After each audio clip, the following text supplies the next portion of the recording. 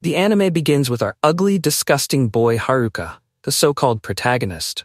He sets a trap for some goblins chasing him, reflecting on how he's now making his way in a new world. However, he wishes to return to the moment when he was first transported so he can explain what happened. It started during lunch while he was reading alone, as usual. Haruka had a solitary life, both in the real world and in school, preferring to avoid classmates to focus on his books. If he had to categorize his class, he'd separate them into delinquents, athletes, geeks, and a few others. He himself didn't belong to any group. Suddenly, a magic circle formed on the floor, growing larger. The class panicked, but Haruka took a moment to realize what was happening. Once he noticed the magic circle, similar to the ones in the light novels he read, he got excited for a second. However, he quickly realized it could be more trouble than it was worth and tried to leave the classroom. Despite his efforts, the doors wouldn't open. Desperate, he even tried climbing to the roof, but the magic circle appeared again and swallowed him. Haruka then found himself in a white room, expecting to meet a king or beautiful princess, like in the stories, but instead, there was an old man who revealed himself to be the god of that world. It turned out that the rest of Haruka's class had already been transported, and he was the last one to arrive likely because the god overlooked his attempt to escape. The god hurried him to set his stats, as each person gets 50 points to allocate towards skills like magic. However, since Haruka was last, all the good skills were taken, leaving him with weaker options. Despite this, he decided to make the best of it. He initially rolled low on his stats and wasn't happy, but when he checked again, his luck stat had maxed out. Now fully in the new world, Haruka assessed his situation. His special bag, which could hold infinite items, contained mostly useless stuff. After exploring the forest, he struggled to see in the dark, but remembered his contact lenses skill, which gave him the ability to see clearly and evaluate objects. This helped him find edible mushrooms and other useful resources. Haruka soon came across a river, refilling his water supply. He then found a cave, which he turned into a makeshift base. Using magic, he created a fire and realized his skills were leveling up.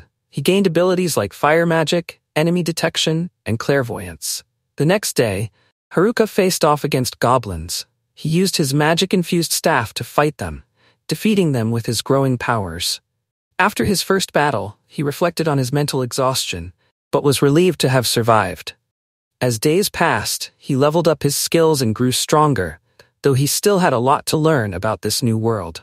At one point, he encountered some of his classmates in the forest, including the class delinquent, athletes, and the class representative. Although he recognized that having companions would be beneficial, he ultimately enjoyed the freedom of being alone. Haruka decided that, rather than join them, he would conquer this world on his own terms. At the moment when the criminals get too close to Haruka, he quickly dives into a nearby bush to hide. However, one of the criminals thinks they hear something in that direction and begins to approach cautiously. Haruka feels the pressure, but luckily, a rabbit hops out of the bush, convincing the criminal that it was nothing, and they all leave. Haruka follows them, noticing they settle near the river. Although he wants nothing to do with them, he feels the need to overhear their conversation. When he listens closely, he realizes they are merely gossiping about obscene things regarding the girls in their class. While it worries him, he reassures himself that the class representative will protect the girls. Suddenly, one of the criminals grabs another student, Tanaka. They want him to confirm if their abilities allow them to do anything they desire. Haruka recognizes Tanaka and realizes the criminals are using him as a living guide. He heads back to his new hideout feeling both relieved and shocked to see that his solitude stat has leveled up. This makes him think it was because he avoided his classmates. He muses that if his patience stat had also leveled up after all his efforts, he might have gone crazy from the pressure. Haruka reflects on how these strange abilities are eroding his self-esteem, but he still remains at level 3. He also notices his Master of Nothing skill hasn't improved, which he figures is due to not fully understanding what it even does. He remodels his cave to make it more livable, pondering if his new skill makes him some sort of puppet master or just an idiot. By the seventh day, around midnight, Haruka struggles to sleep because of noises coming from outside. Curiosity drives him into the forest, where he finds a group of nerds fighting goblins. Haruka wonders if he should help, but quickly uses his evaluation skill to see they don't need assistance, since their abilities are far superior to his own. He recalls that his class was full of elite athletes, genius students, and children of celebrities, so he often questioned how an ordinary boy like him ended up with them. Although the nerds seem capable, Haruka notices a few goblins about to ambush them. Without hesitation, he leaps out of hiding and defeats the goblins swiftly. The nerds, finishing their battle, finally notice Haruka and thank him for his help. Haruka, having forgotten how to hold a conversation, awkwardly leads them back to his cave. They are impressed by how luxurious it is, and Haruka asks what happened to the rest of the class.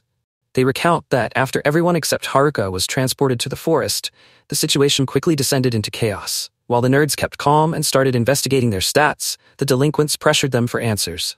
The class representative tried to keep order, but goblins soon attacked, sending everyone into a panic. Although the nerds were able to fight off the goblins with their skills, the class began to fracture. Many students, especially the gals, a group of stylish girls, refused to help set up camp and eventually distanced themselves from the group. With the class in disarray, only a few, including the class representative and the nerds, continued working and defending the camp from more goblin attacks. Eventually, the delinquents chose sinister skills like charm and puppeteer, which allowed them to manipulate others. The nerds overheard their plan to create a harem and informed the class representative, who decided something had to be done. In a confrontation, the nerds managed to use their sealing abilities to neutralize the delinquents' powers, exposing their dark intentions. The delinquents were expelled from the camp, but returned later to wreak havoc, setting fire to the tents before leaving with a promise to return. Haruka feels sympathy for the nerds and proposes a feast to cheer them up, but they aren't too enthusiastic. The next day, the nerds decide to head downstream in search of a town to start their lives as adventurers. They invite Haruka to join them, reminding him of the books they used to share, but Haruka declines, feeling that his low stats would only hold them back. As he continues his journey, Haruka stumbles upon a kobold, which bites him before he defeats it. Following the trail of the camp, he soon comes across the gals.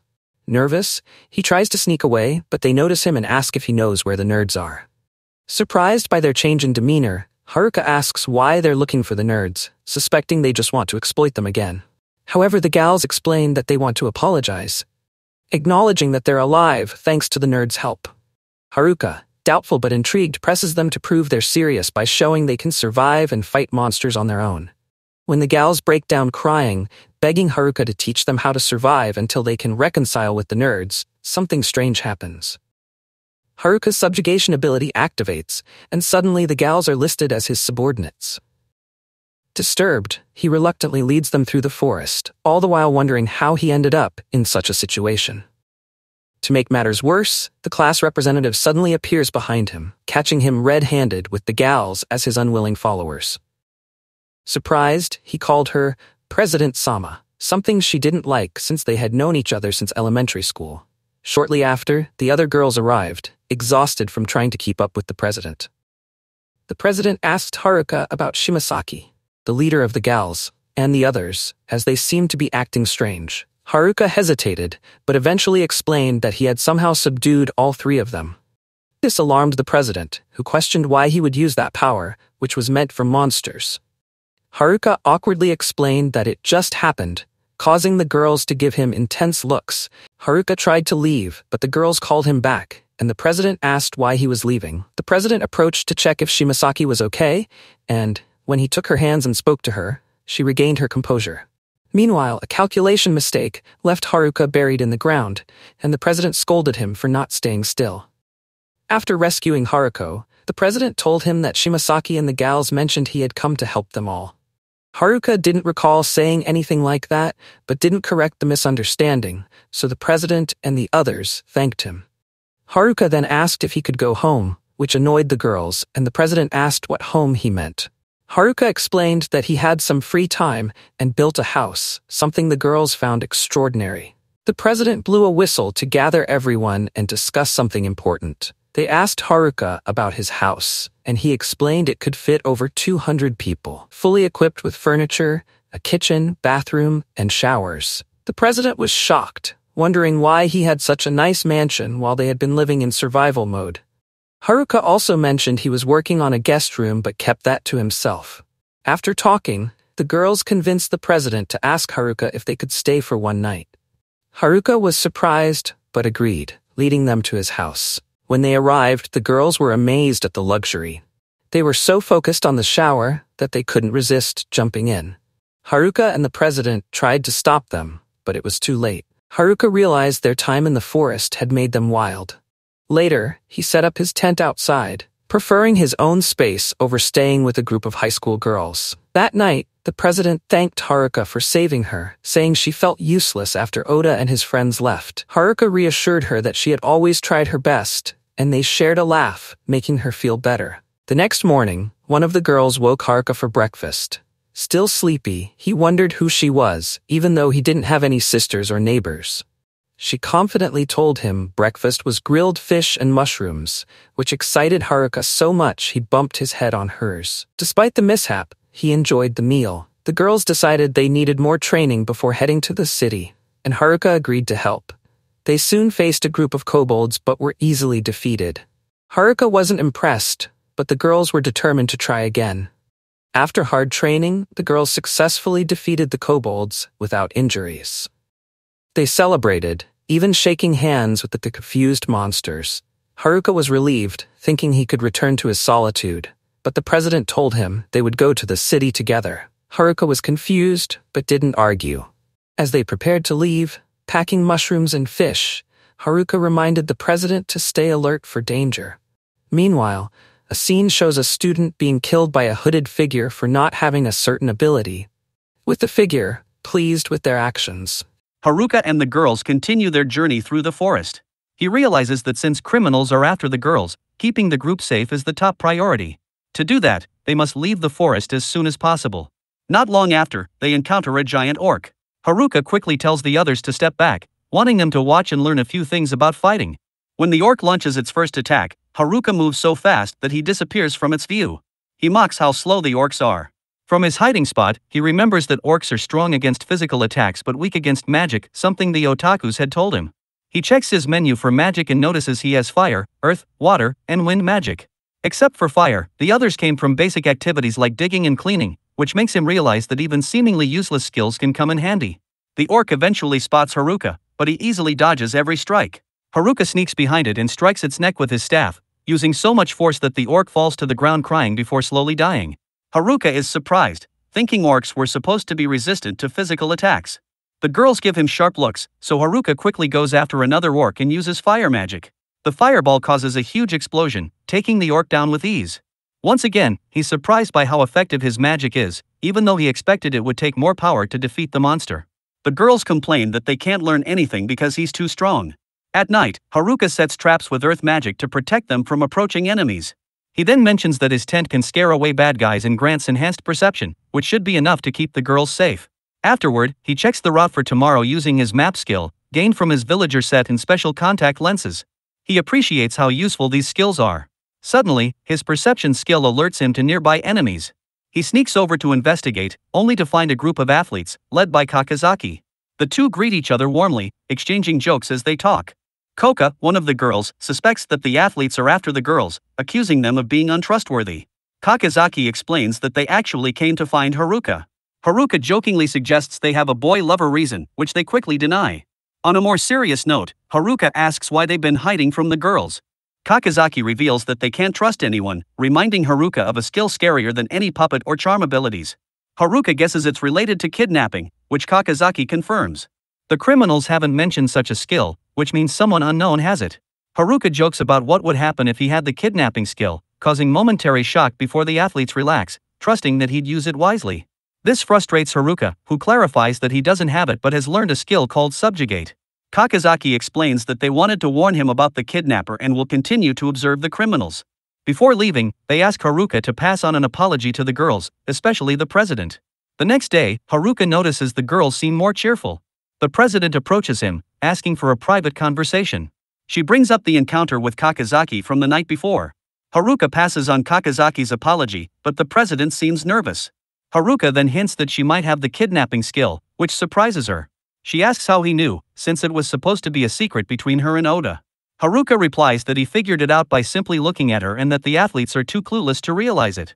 The president asks why Haruka helped her even though he knew the truth, wondering if he's not afraid of her ability, which can steal skills by taking someone's life.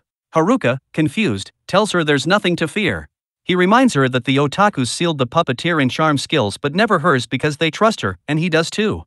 His words encourage the president, though Haruka quickly points out that she's been crying a lot lately. She blames him, saying it's because of his expressions. Haruka hastily runs away, claiming he hasn't done anything wrong, but the president smiles and thanks him, even though he's already gone. Later, Haruka tries to negotiate with the girls, offering to sell them juice. One of the girls tries to persuade him using questionable tactics, which leads to the president scolding him while the other girl is upset, as she just wanted some juice. As they resume their journey, Haruka tells the group he'll scout ahead.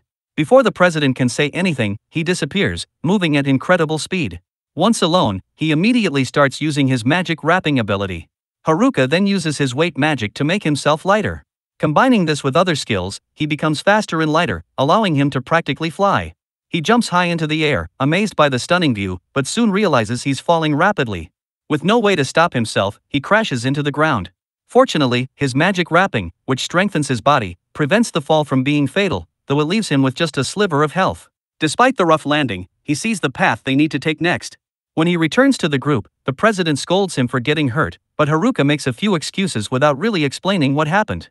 Instead, he changes the subject, offering her some berry juice. The president, still upset, walks away, while another girl happily tries to take the juice from his hands.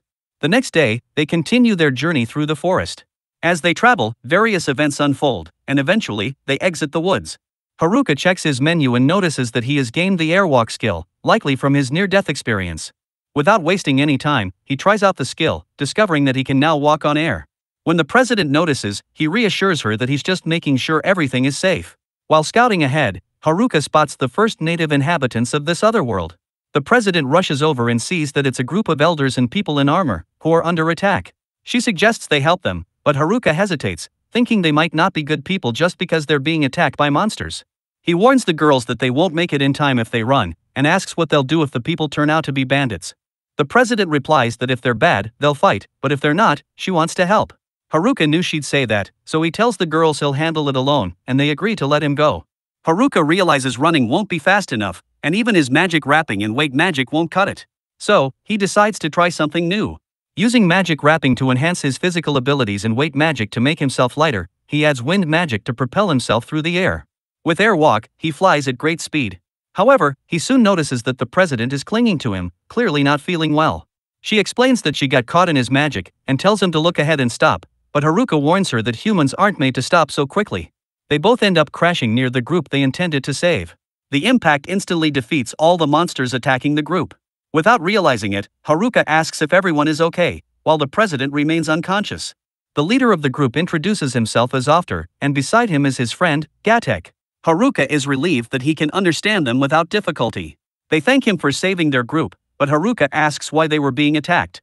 Ofter explains that merchants have been under attack recently, so the Adventurers Guild issued a bounty to exterminate the threats. They thought it would be easy money, but would have been killed if not for Haruka.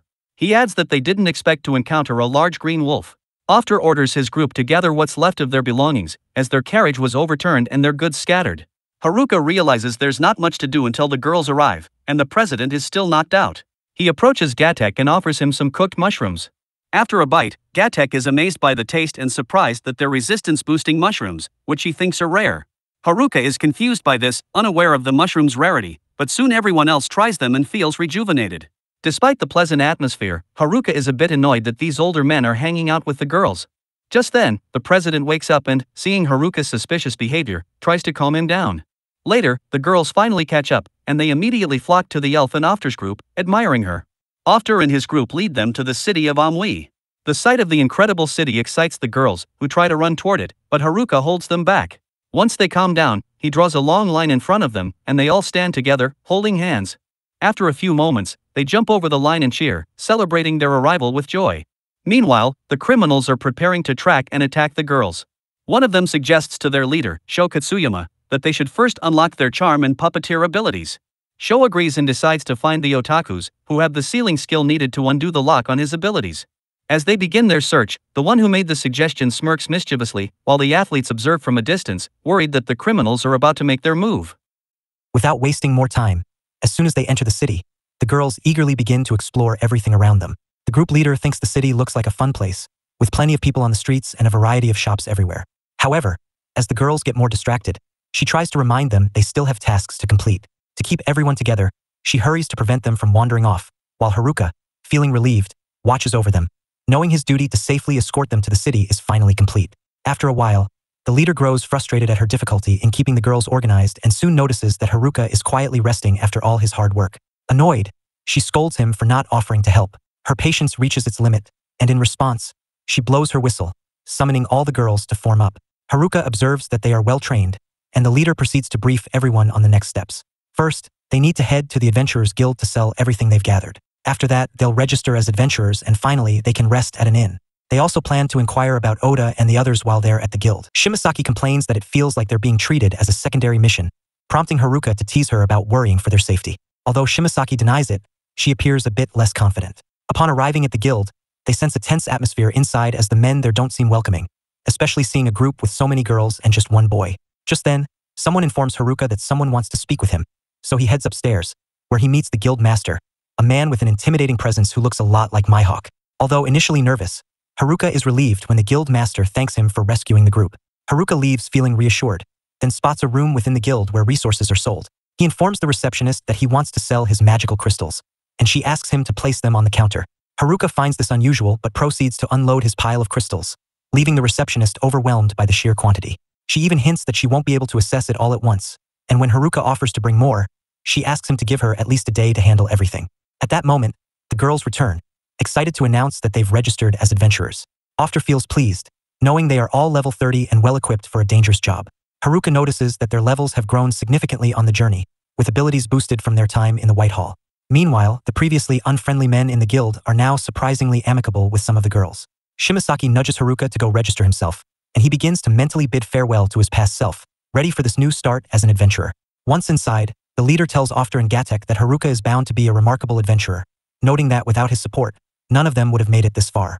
As the guild attendant reviews Haruka's stats, however, she informs him that he must be at least level 10 to register.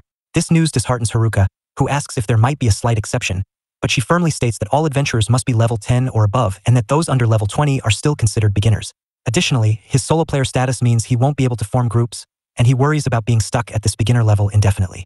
The leader observes Haruka's frustration and realizes that, with him out of commission, it's up to her to take the girls to their lodgings. When they arrive, she explains that the guild arranged the accommodations. Haruka, finding the place unusual, asks the receptionist if it's a love hotel, leading to a scolding from the leader. Once everyone settles in their rooms, she finally feels at ease, comforted by the room's simple and pleasant feel, though she misses the forest. The next day, Haruka decides the girls should be safe in the city, so he thinks it's best to return to the forest after collecting the payment for his crystals. When he arrives at the reception desk, the receptionist apologetically hands him a bag of gold, explaining that it's all the money they have, hoping it's enough. Haruka finds her behavior strange, as it's not like he's pressuring her. The guild master approaches and explains that they haven't fully processed his loot yet and lack sufficient funds, so he offers a payment plan, which Haruka accepts. The guild master then hands over the gold, informing him it totals 8 million air. Initially, Haruka assumes the money has the same value as back home, but he soon realizes it's a substantial amount. The receptionist further explains that he earned the sum by gathering a large quantity of F rank crystals, plus a reward for defeating the Green Wolves. Gatek then suggests a place that he thinks Haruka will enjoy, as a token of appreciation. Haruka, misunderstanding, assumes it's a brothel and eagerly follows Gatek, with the group leader trying to stop him, guessing exactly what he's thinking. They arrive at a little-known weapon shop, specializing in rare dungeon items. Haruka feels both amused and slightly disappointed, but soon grows excited as he tries out various weapons and unique armor pieces, finding it hard to resist any of them. During his browsing, he notices a special piece of jewelry with an adjusts to 7 feature. His appraisal skill, now level 5, has shown a similar phrase in the description of his villager A set, so he asks the shopkeeper what it means. The shopkeeper explains that it allows items to be combined, and with this necklace, he could combine up to 7 items and use their effects simultaneously. Hearing this, Haruka gets an idea if his villager A set can do the same, he could add numerous effects to his gear. However, as he's absorbed in his thoughts, the leader arrives to scold him, reminding him that it's late and the girls are already asleep. Haruka insists on staying a bit longer, but in his excitement, he accidentally drops an item onto the pile he's accumulated, causing them to merge unexpectedly. The shopkeeper angrily shouts that merging items without buying them is forbidden, especially with a collection worth over 10 million air. Gatek and the leader try to negotiate a small discount, while Haruka sighs in dismay, realizing his shopping spree has come to an abrupt end. The following day marks 20 days since they arrived in this world, and Haruka appears noticeably downcast. They managed to negotiate the price down to 8 million air, but it has left them broke. Haruka wishes he could go out and gather more crystals, but foreigners aren't allowed to leave the city unless they become adventurers and obtain a permit. Although he considers sneaking out with the girls, he figures the leader wouldn't trust him enough to let him do so. Unwilling to give up, he puts on his old villager a cloak, which is now combined with a cloak of invisibility. Feeling confident, he believes even the leader won't be able to catch him this time. A short while later, Haruka sneaks toward the city exit, slipping past the girls and the leader within minutes. Seeing no guards at the entrance, he quickly jumps, ready to take off. Just then, a group of girls call out, asking where he's headed. Startled, Haruka loses focus and crashes hard into the wall. While recovering, he recognizes the group as the athletes, but notices one of them is missing. Looking ahead, he sees her, a girl with a habit of changing clothes wherever she pleases. Her name is Nagisa Fukuinoi, and everyone rushes to her, as she's changing right outside the city.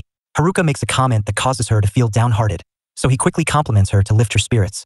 Although it works, he ends up feeling disappointed in himself, as his first escape attempt has failed. The next day, the girls prepare to leave for their first mission, and though Haruka tells the leader he'll stay behind, as soon as she's out of sight, he activates his invisibility and sneaks out of the city. Outside, he heads straight for the forest, ignoring everything along the way, including a carriage being attacked by bandits. Inside, a girl is calling for help, but as Haruka passes by, one of the bandits spots him, unwilling to let witnesses escape. Determined to reach the forest, Haruka uses a newly acquired item to hurl fireballs at the bandits, leaving them scorched. His wooden staff, enhanced with mistletoe vines, seems remarkably powerful, perhaps from an embedded fire attribute. As the bandits recover and attack again, Haruka repels them with more magical abilities. They accuse him of having a magical job class, and without thinking, he blurts out that he doesn't have one, a secret he'd intended to keep. This prompts the bandits to check, confirming he doesn't have a magic class and that he's only level 9. Gaining confidence, they begin using weapon skills, which Haruka can't yet employ since he needs to be at least level 20. Despite this, he dodges their ranged attacks until they're too exhausted to continue. From shouting skill names nonstop, the bandits are out of breath and eventually faint. The girl in the carriage, grateful for his help, introduces herself as Muriel, explaining that she's from a noble family. Haruka realizes they fainted more from self-exhaustion than from his intervention, so he's unsure what to say. Initially, he even tried to ignore her cries for help, so he feels undeserving of her gratitude. Meanwhile, Haruka thinks he's encountered another odd character in the strangest way. Muriel then asks for his name and, after introducing himself, she mentions she's the daughter of a lord from a nearby city. She requests that he accompany her for the rest of her journey, saying she feels unsafe and wants to show her gratitude. This last point convinces Haruka, so he agrees to join her. Feeling more comfortable, Muriel asks him what he thinks of the city he departed from. Haruka begins criticizing the city's strange inns, the guild's insufficient payouts, and the rule preventing outsiders from leaving. He even remarks that the city's lord is likely as unimpressive as the city itself. Hearing this, Muriel grows uncomfortable, as she's the daughter of that very lord, and feels embarrassed by her family's reputation. Haruka then realizes that the carriage is heading to her city, Omu, and he loudly asks to be let out. She declines, saying she wants to treat him well and prove that her city is far from substandard. Meanwhile, Haruka internally groans, knowing he's being dragged further from the forest yet again. Elsewhere, the athletes are blocking the path of some troublemakers, with Kakizaki declaring they won't let anyone near the girls. Katsuma Shiyu, the leader of the troublemakers, tries to attack Kakizaki for refusing to back down, but out of nowhere, someone drives a sword into Katsuma's back, turning the situation even uglier. As soon as the leader of the criminals is struck down, one of his allies rushes to attack the mysterious figure, but the stranger quickly counters and skillfully stabs him as well. Another attacker attempts the same, but the stranger disarms him with a slice of his blade. Before he can finish the job, the mysterious man uses telekinesis to summon a large sword once wielded by Katsuyama. In a swift motion, he takes down the two criminals who dared approach him. With the criminals defeated, the remaining athletes try to flee, but they're caught by the incredible speed of the assassin, who corners them.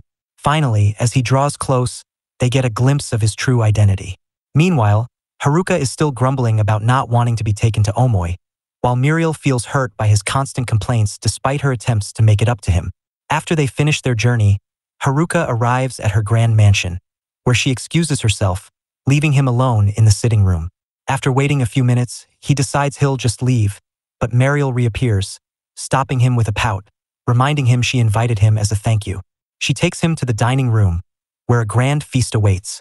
She tells him she wanted to repay him for saving her life, although she wonders why she's so frustrated by his lack of gratitude. After the meal, she hands him a bag of gold and an identification card, having learned he didn't have one. She hopes this will make him remember the name of her village.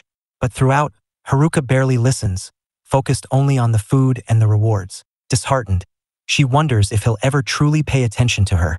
The next day, The president and some other girls interrogate Haruka, who explains he was invited to the mansion and wasn't sneaking out of the village. The president is convinced, but she's curious about what he did to earn such an invitation.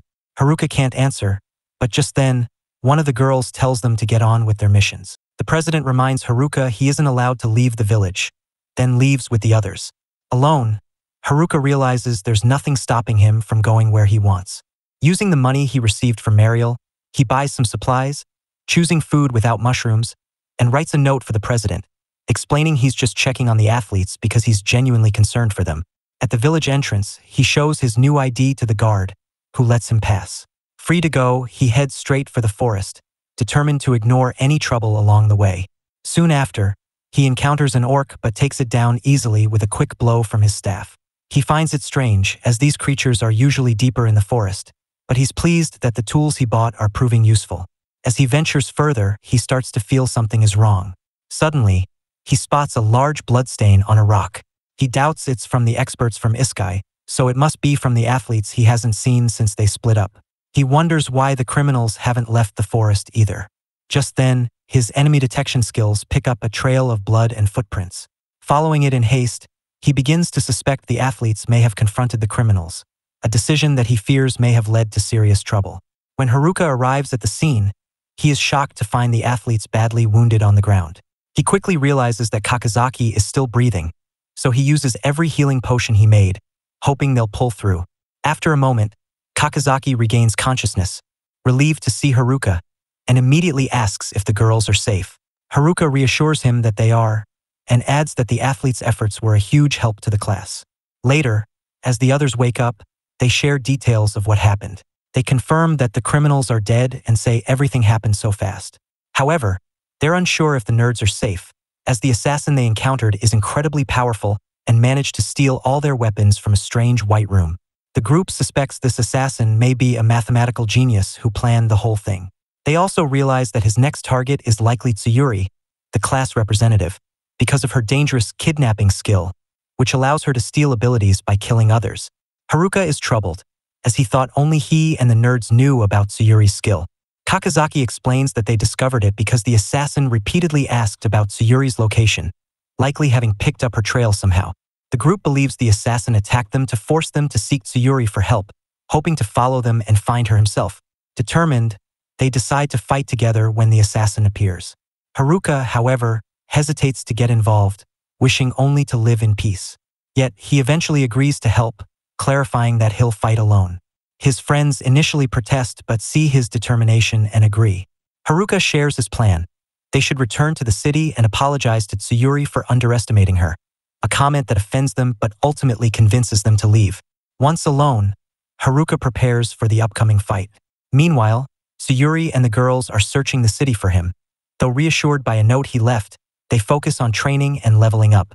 Back in the forest, Haruka reflects on the powerful weapon abilities he learned from the athletes. He knows they're potent but can leave the user vulnerable. He starts brainstorming a strategy to exploit this weakness. As he prepares, goblins, attracted by the scent of blood, begin to gather. Haruka notices their high level, as these types of monsters are typically found deeper in the forest. He uses this as a training opportunity, defeating several goblins without gaining a level but wishing he could face something stronger. Soon, a goblin king appears and charges him. Haruka skillfully dodges its attacks using an evasion skill, enhanced by his earlier preparation. After evading a few attacks, he notes that the Goblin King has strong weapon abilities, perfect for testing his new strategy. He combines a series of skills using magical wrapping, imbuing this enhanced technique into his staff. With one swift strike, he defeats the level 23 Goblin King instantly. Pleased with the result, he reflects on how even weak abilities can be powerful when combined creatively. Just then, another monster appears behind him. Haruka's blood sense skill kicks in just in time, allowing him to sense the approaching danger and move away. He turns to see a level 50 Goblin Emperor, a much stronger foe than his level 9 self.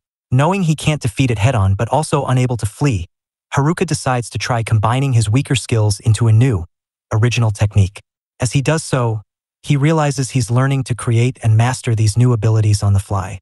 Prepared, he engages the Goblin Emperor, landing a blow with his new skill, but it barely leaves a scratch.